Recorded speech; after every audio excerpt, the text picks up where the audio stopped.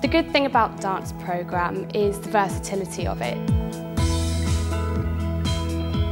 You learn about the history of dance, how to create dance for yourself, how to start your own dance company. That's what makes it really exciting for the students. It's a heavily practical course. You can't get any better experience than actually doing. Being a dancer myself, I know that the best way to do it is to go for it. We have the training here at Bridgwater College that other colleges don't have.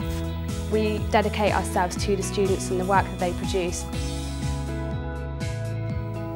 We start with the basics and then build that up and build the confidence. That's when the really exciting stuff starts to happen.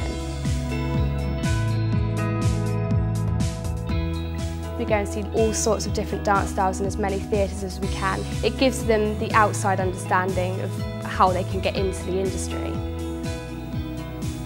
There's a lot of opportunities. Some of our students are now performing in the West End, some of them have joined dance companies, some of them have gone on to teaching. All of our dance team are really enthusiastic. We have loads of energy. We try to have as much fun as possible at the same time. And I think our enthusiasm for our subject reflects onto our students. It's really exciting that we get to pass all of our skills on to others.